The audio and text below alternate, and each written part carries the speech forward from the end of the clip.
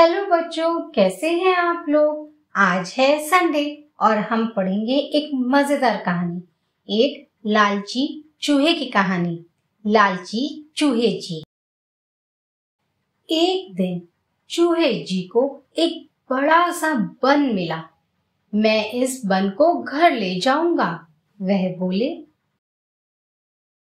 उन्होंने बन को पीछे से खिसकाया, बन नहीं हिला।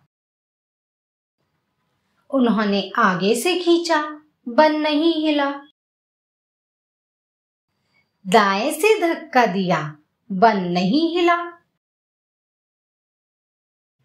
बन के पीछे से भागे और बाएँ से धक्का दिया, पर बन नहीं हिला। हम्म मैं इस पर रस्सी बांधूँगा, इसे खींच कर घर ले जाऊँगा। चूहे जी दौड़कर घर से रस्सी ले आए, पर वह छोटी पड़ गई। वह वापस गए और लंबी रस्सी लाए। बंद को बांधा और खींचा और खींचा, पर बन नहीं हिला।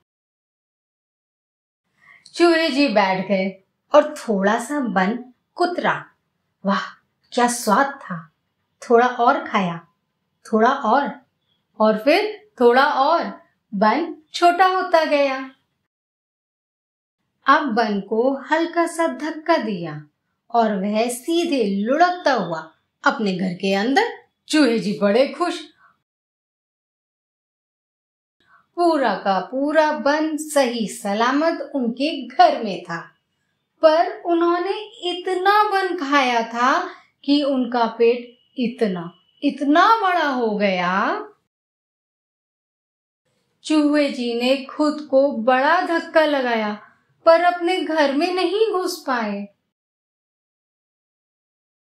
अपने घर के बाहर चूहे जी पेट पकड़कर बैठ गए। इतना सारा बन नहीं खाना चाहिए था मुझे। किसी के साथ बांट लेता तो कितना अच्छा होता।